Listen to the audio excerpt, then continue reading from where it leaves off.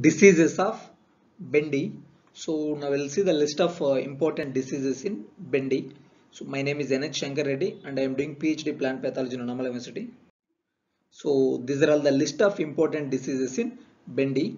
So the first one is powdery mildew which is caused by Erysiphe cichoracearum next one is Fusarium wilt which is caused by Fusarium oxysporum forma species vasinfectum Cercospora leaf spot which is caused by Cercospora abelmoschi or Cercospora malayensis and the last one is yellow vein mosaic which is caused by bhendi yellow vein mosaic virus.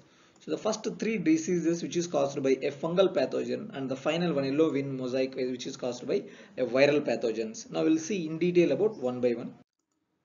The first one is powdery mildew which is caused by Erysiphe cichoracearum or Erysiphe cichoracearum whatever you want to pronounce it.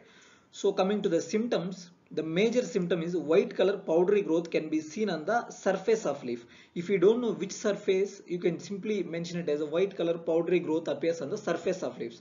But in uh, bhendi, the powdery mildew or powdery growth mainly seen on the upper surface of leaves and in rare cases we can also see on lower surface also but mainly powdery growth can be uh, seen on upper surface and we can also see on lower surface and here it is one of the uh, important disease if you see here we can see here white color complete powdery growth uh, can be observed on upper surface as well as lower surface also. So coming to the management aspects spraying of wettable sulfur 0.25 percent or spraying of dinocap or Karathane that is 0.07 percent can be recommended. Here this is the old management practice. I would, I would like to include the new management practices. If you uh, whatever the crop it is that won't be a big issue. If you uh, find out or if you observe the powdery mildew the first step that you have to take is spraying of water. Because the powder uh, powdery mildew before it get uh, attached right before it get inoculate i mean uh, get entry into the host tissues if it in initial stages if you spray water it will get away with uh, water so that the first management practice is spraying of water solution. If it is can't controlled even though if you sprayed water then the next step is spraying of 1% milk solution so make sure that 1% um, milk solution means adding of 1 ml of uh, milk in 100 ml of water can gives you 1% concentration. So that adding, I mean spraying of 1% uh, milk solution can be the next management practices. If the next management practice that is spraying of milk also can't be uh, controlled then you can go for fungicide that is wettable sulfur or application of Karathane group of fungicides can give you better control management or better management practices. So the next one is Fusarium wilt which is caused by Fusarium oxysporum forma species vasinfectum.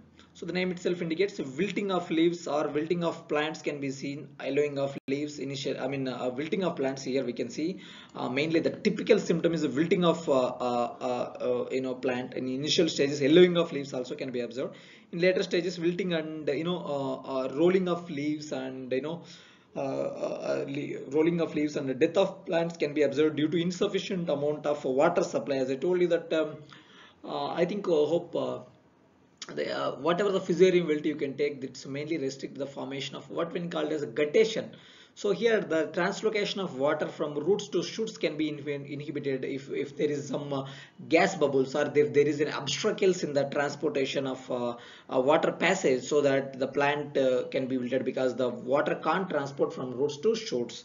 So here in the severe cases, the whole plant will uh, die and blackening of uh, stem also can be observed. But the major symptom is yellowing of leaves and uh, wilting of plants as well as the death of plants in severe stages. So coming to the management aspects, uh, treat the seeds with a mancozeb at the rate of 3 gram per kilogram of seeds and drenching with the copper oxychloride at the rate of 0.25% can be recommended. Coming to the third one, uh, Cercospora leaf spot which is caused by Cercospora abelmoschi or Cercospora malayensis. Uh, in Cercospora leaf spot, small spots or brown color spots uh, brown color irregular shaped small spots or sunken spots can appear on leaves. In severe stages what will happen the small spots coalesces and they can combine all the small small spots and look like to very big spots. In severe stages defoliation also can be observed in uh, if, if it is a I mean uh, uh, if, if, if uh, the disease can occur in especially humid region so it will combine with the favorable environmental temperature the small spots coalesces and it will become big and in later stages yellowing of leaves also rarely observed but the small spots uh, become very big spots and uh, shooty black irregular spots also can be uh, seen in some cases. But here small spots initially small spots appears the small spots coalesces and become a big big spots. This is the characteristic symptom. So the coming to the management aspects, uh, regular spraying with copper oxychloride at the rate of 0.25% or the application of mancozeb 0.25% or captan 0.1% can reduce the incidence of this disease. So coming to the next one, yellowing mosaic, which is caused by Bhendi yellowing mosaic virus, which the name itself indicates.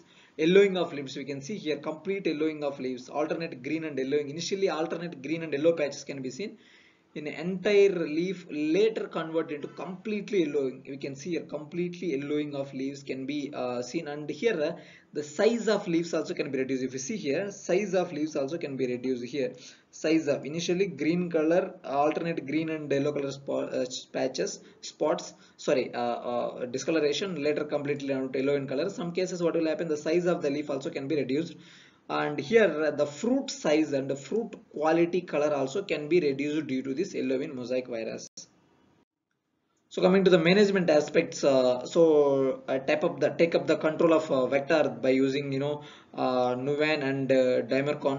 Uh, i think uh, these are all the uh, maybe fungi uh, sorry insecticide that is recommended. And we can uh, spray on 7 days and 15 days interval. And we can also recommend co3 which is the moderately moderately resistant varieties. And uh, Parbhani Kranti which is also a moderately resistant variety that can be recommended for this virus and sowing of uh, uh, sowing the crop in during summer season and whitefly activity during uh, when the whitefly activity is high the susceptible varieties should be avoided. So make sure that if the whitefly severity will be there so better to go not to go with susceptible varieties. And spraying of monocrotophos at the rate of 1.5 ml per liter of water can be recommended for the control of vector. And finally we can also apply chlorpyrifos 2.5 ml uh, plus uh, uh, neem oil at the rate of 2 ml per liter of water can be applied so coming to the questions related to ARSR net, we can uh, we may expect causal organisms. I mean, uh, uh, uh maybe uh, you know uh, symptoms of the particular diseases or something like that. They might be asked. So mostly we can we can expect from asking of causal organisms only.